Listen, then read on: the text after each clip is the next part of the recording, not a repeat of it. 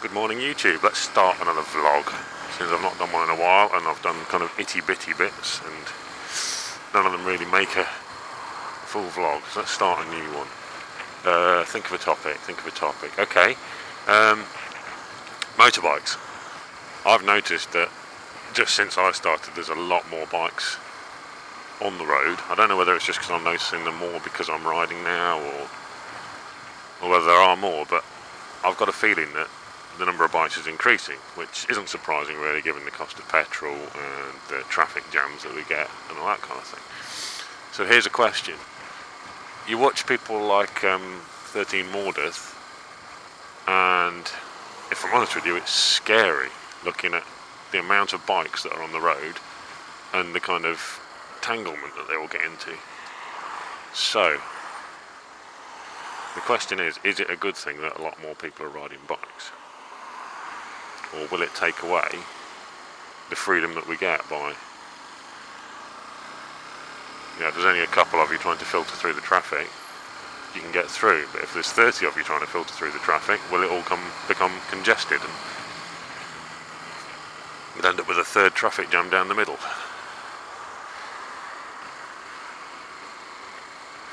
It's an interesting question, I think. I'd like to think that it won't be the case and we'll all still retain our freedom because, you know, let's be honest, I've been looking at 600cc bikes, some of the older ones, and they'll only do 40 miles to the gallon, so they're not really saving much on petrol. So I think they're doing a lot in the kind of car space in terms of electric cars and things like that, that a lot of people will stick to their cars.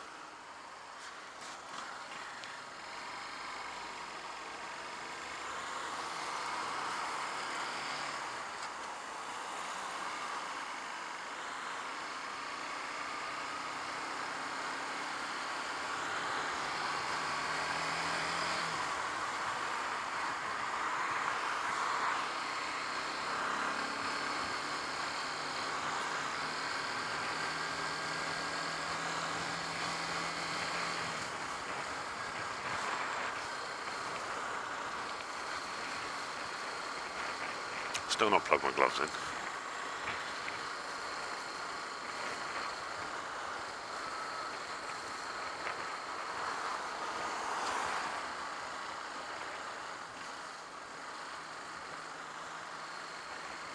I'm going to let a little bit of air into my visor because it's uh, pretty steamed up. So yeah, I mean the other thing I've been thinking about recently as well is that obviously when I do pass my test, and I've I've just bought my mod one yesterday with um, Russ at Roadcraft, but that's not till April. Um, the other question I have to myself is, do I get rid of this bike because it does 130 miles to the gallon? Is it a wise thing to get rid of it? I know it struggles to get much above sort of 55 miles an hour, which is a pain sometimes, but there's only one section of my route where it goes above 40 anyway. So, is it a real bad thing?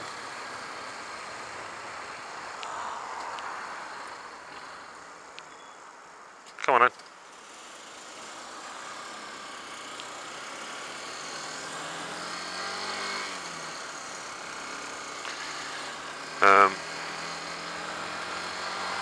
Because, I mean, I love it. I absolutely love it. I just wish there was a bit more torque um, higher up. Because, I mean, fourth and fifth, they don't really need to be here, to be honest with you. You could just have one gear. Because you twist the throttle in fourth, uh, it's barely any different to twisting the throttle in fifth, nothing happens.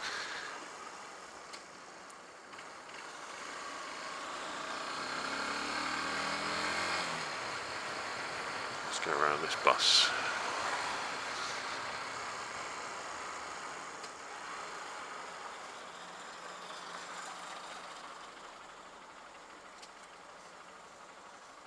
Oh, if I thought about it quicker.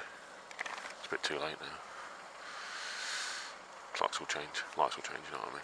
God, man, it's freezing. I'm going to have to pull it. Oh, God. Forming ice.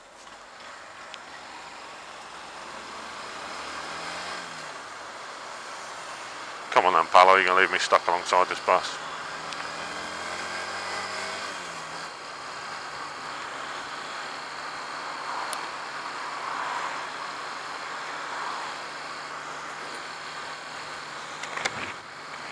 Ah, fog.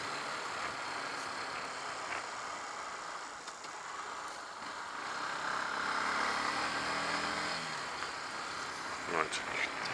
Well, hey, it's on the outside. Hey!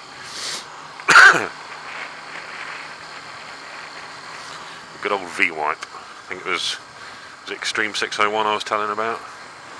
I think he said he's already got one though. Uh, they are awesome though. A windscreen wiper for your fingers. Oh, I'm gonna have to pull in. Can't feel my fingers.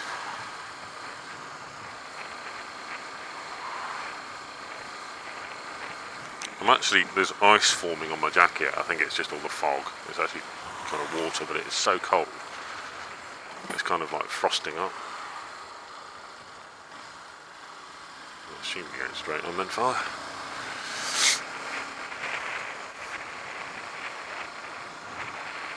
Let's hope there's shed loads of traffic coming around the roundabout. I can plug myself in.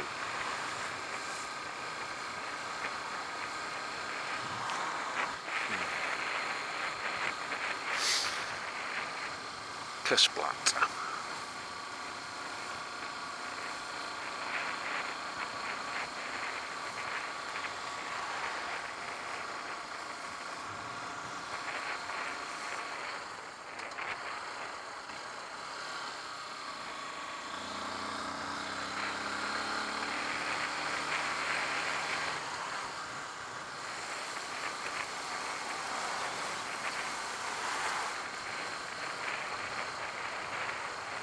Fuck it. So I just pull in here. I need to put my gloves on.